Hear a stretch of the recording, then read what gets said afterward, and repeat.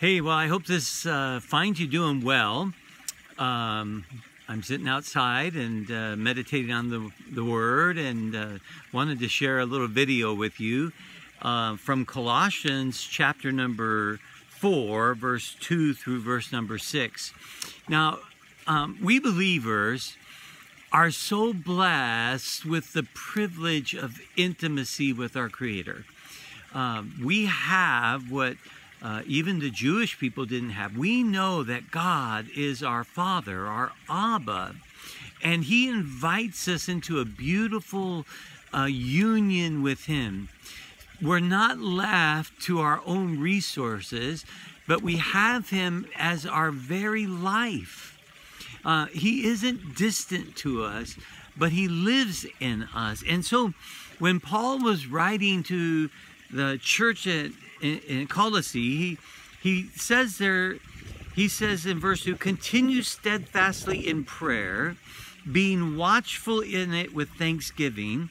At the same time, pray also for us that God may open to us a door for the word to declare the mystery of Christ, on account of which I am in prison, that I may make it clear which is how I ought to speak. Walk in wisdom toward outsiders, making the best use of the time. Let your speech always be gracious, seasoned with salt, so that you may know how you ought to answer each person.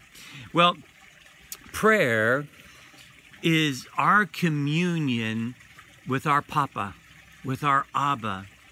And prayer is both our listening and our speaking and our asking.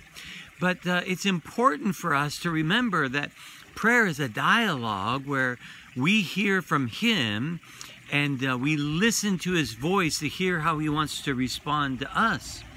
So don't stop uh, your communication with your beloved, but come to Him and and devote yourself to this time of prayer. And remember what he says. He says uh, to be watchful in it with thanksgiving. So that we come to him with prayer not just always asking like petulant children but children who have a heart of gratitude for all that god is for us and in us. And so we devote ourselves to prayer with thanksgiving, even when life is full of challenges, because we have so very much to be grateful for.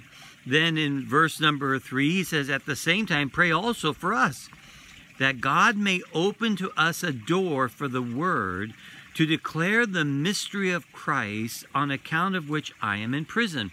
It's amazing to me that Paul doesn't make the first request that he be delivered from prison, but he makes his first request that he would have uh, a wisdom, an open door, a boldness to proclaim the mystery of the good news of the gospel of Jesus Christ. And the mystery is Christ in us, the hope of glory.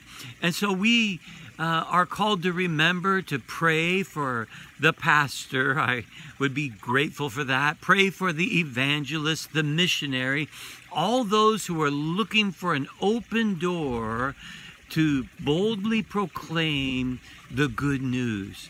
Because, friends, despite all of our challenges here in the West, we have freedoms that much of the world knows nothing about.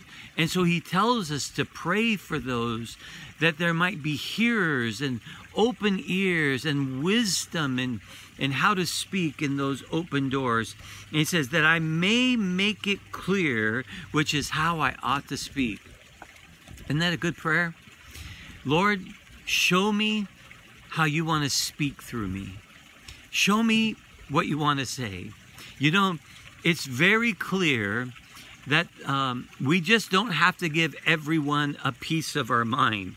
He said in verse 5, walk in wisdom towards outsiders. So that's the unbeliever. He says, be discerning and, and make the best use of our time so that we remember that the whole time that we're here on this planet, we are people with a mission, that we are ambassadors of Jesus Christ.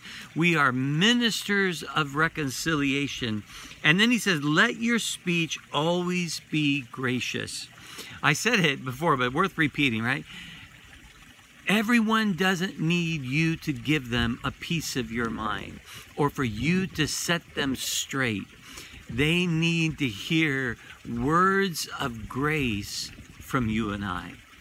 He says that they might be seasoned with salt. I think that they might have purpose, they might be convicting, that they might point people to the truth of the gospel.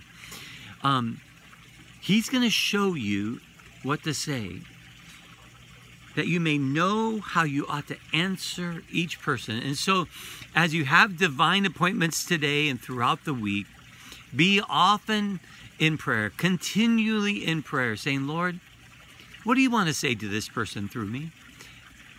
I, am so grateful that you live in me. And you don't have to be too worried. He's going to show you.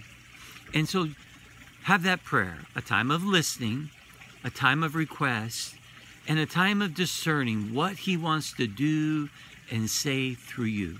I hope you're having a great week and this blesses you. And if it does, please pass it on, share it, uh, send it, forward it to someone else and uh, I'll look forward to seeing you soon. God bless and have a great day.